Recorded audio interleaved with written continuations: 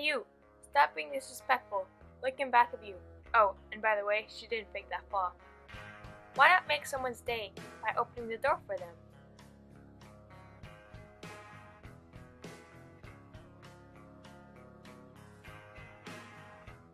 People make mistakes and it's normal, but it's up to you to make the good choices.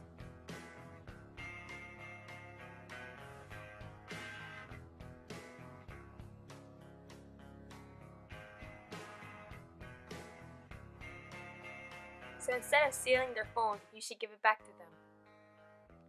However, if you don't know who it belongs to, you can either give it to a VP or a secretary.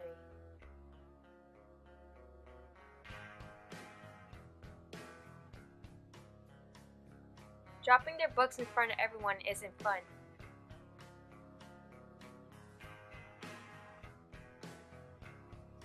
Freeze. Wait a minute. Let's rewind and fix this.